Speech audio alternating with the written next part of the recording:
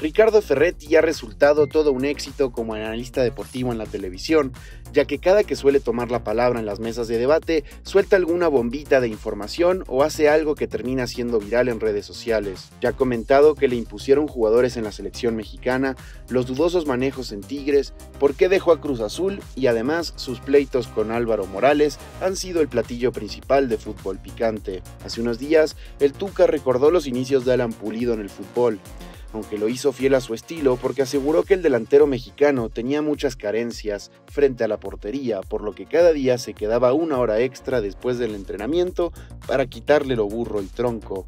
¿Quién debutó a Pulido?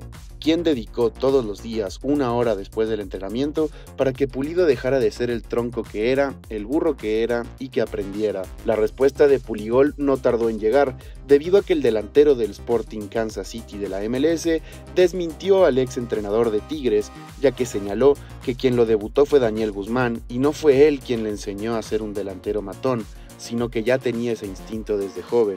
Creo que el Tuca se equivoca en dos cosas. Uno, no me debutó él, me debutó Daniel Guzmán.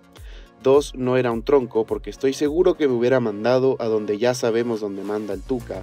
Y tercero, a esa edad yo ya me aventaba estos golazos.